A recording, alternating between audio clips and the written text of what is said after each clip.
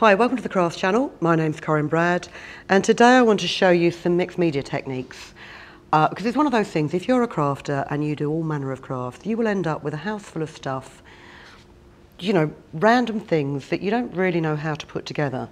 And what I've discovered is that if you can colour those things, you can really pull them together to make some great, quite eclectic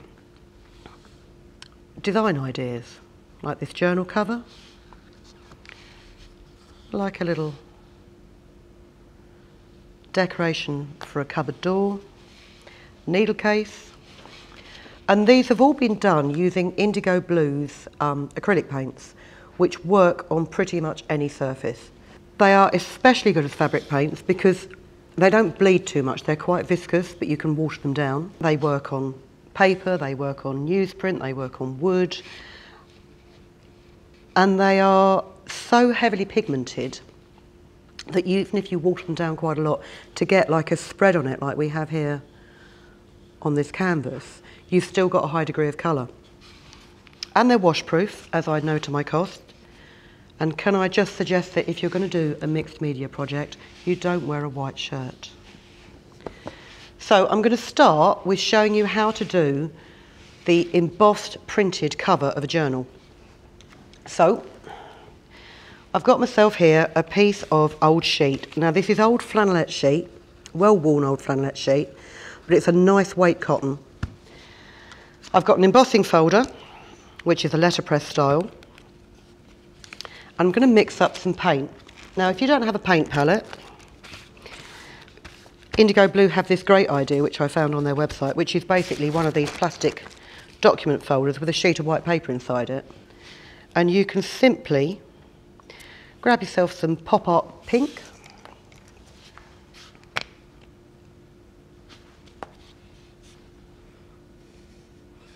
And you don't need a lot of pigment, but just put it onto your working sheet, grab some water, and just water it out a bit.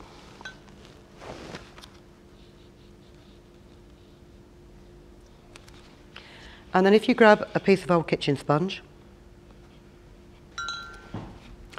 and gather as much of that paint up on the sponge as you can, and then what you want to do with your embossing folder, so that you've got the design, you're looking at the front on design, you want to ink up the top half of that embossing folder.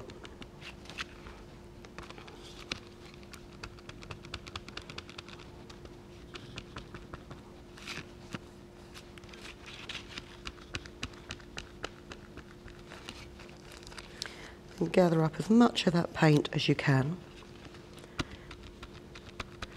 And it doesn't have to be a completely even spread of that paint. What I would try and do is just go over it to try and get away, you know, try and remove any hard lines from your sponge. And then place your piece of cotton inside your embossing folder. Lay it down and sandwich it between the plates of your normal die cutting machine.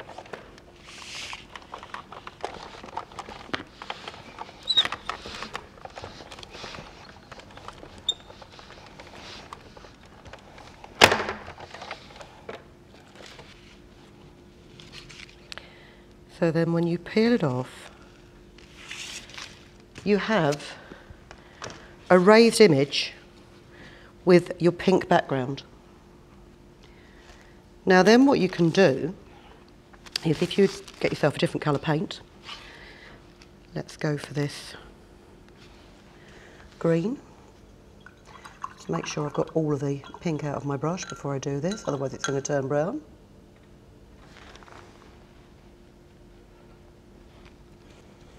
Nice bit of lime green. Slightly diluted, but not a great deal. And then a clean piece of sponge.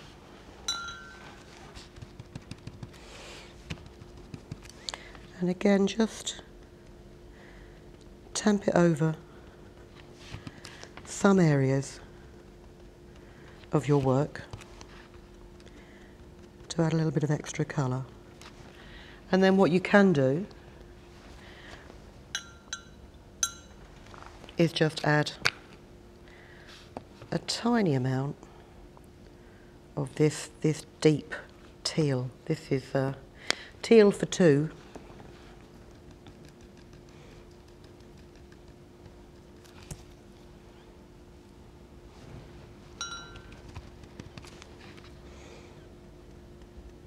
Just so you've got a little bit of depth to that green that you've put on there.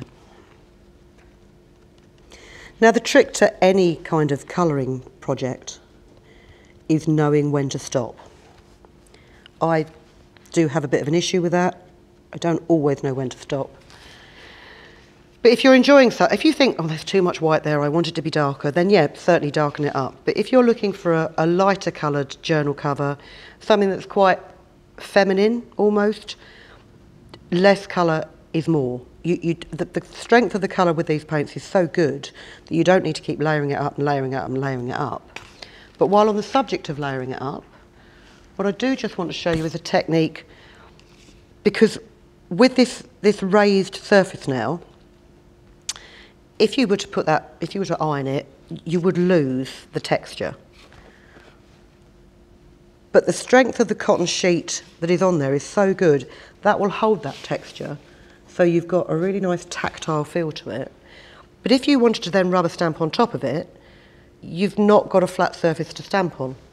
So what I would suggest you do is if you grab yourself some natural tissue paper,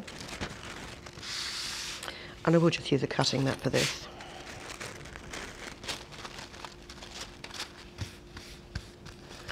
Natural tissue paper. Um, let's find ourselves a nice rubber stamp and a decent black permanent ink. Stamp out your design onto the tissue paper.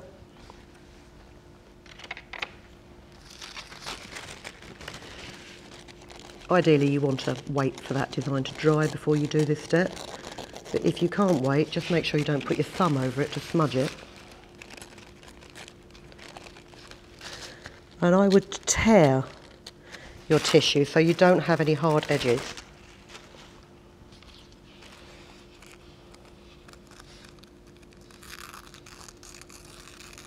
And as you can see, do make sure that you've put your tissue paper on a surface that it doesn't matter if it's marked because the ink will bleed through it. Oh, that's getting quite close to the line there, hold on.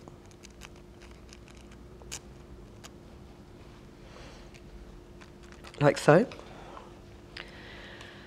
And then if you paste your tissue paper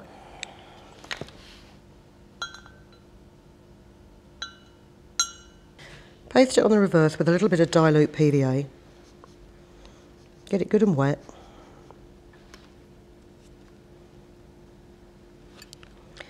Lift it with your brush.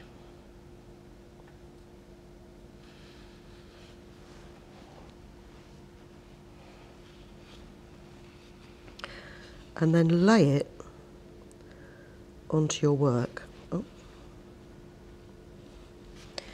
And as I say, because the tissue paper is so absorbent, you can then just tamp it down with a PVA loaded brush and work that tissue into all the indentations on your embossed fabric so you can still see that lettering below the surface of it.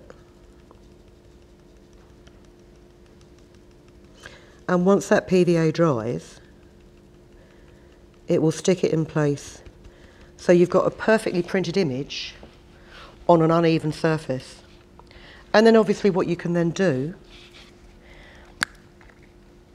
is if you've used a natural colour tissue like I have, you can just sort of blend out the edges of it. If you used a white tissue, you would probably find it would disappear completely, but I quite like this. It's almost like a brown paper packaging.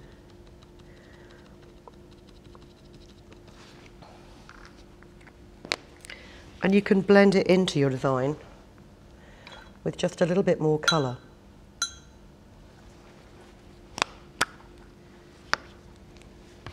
Now this is going to be really strong because I'm not diluting this down at all. I'm just to, oh that is really strong. I am going to dilute that down quite a bit with a sponge. Just to knock that back a bit.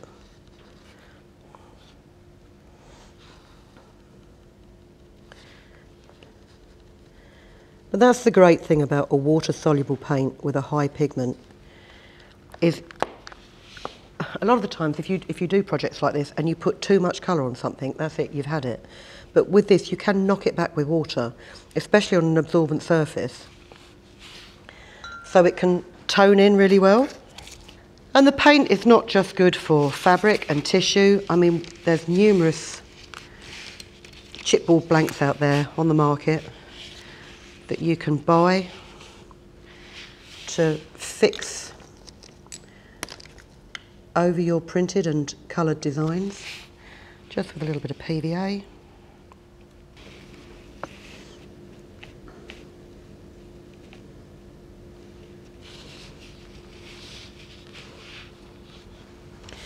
And painting onto these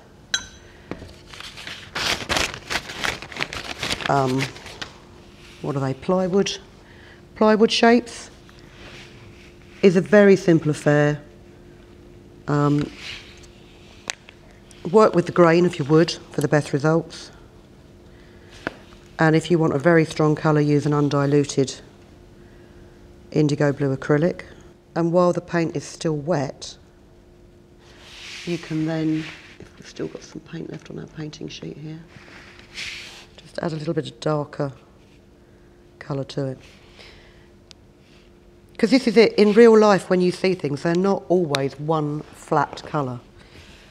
There's light and shade.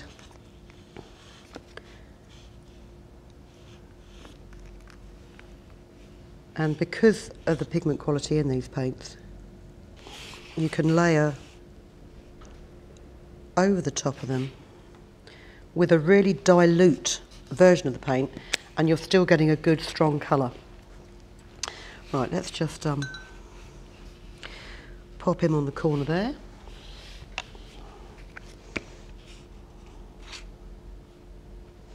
And really what you want to do is you do want to wait for your paint to dry before you start manipulating and manoeuvring things.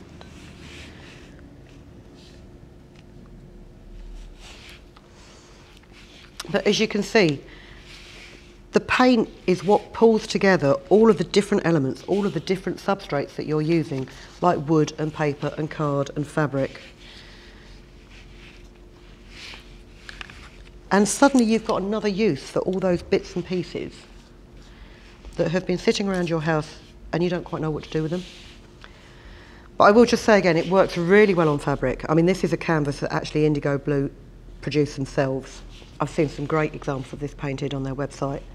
I've gone for a, a paler option, a more subtle option, because I thought, you know what, I've got something quite bright here with my heart and feathers.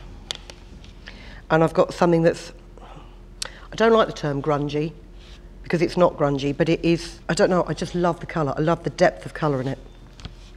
So what I'll do is I will put a link to IndigoBlu's website in the description below so you can have a look at their products themselves.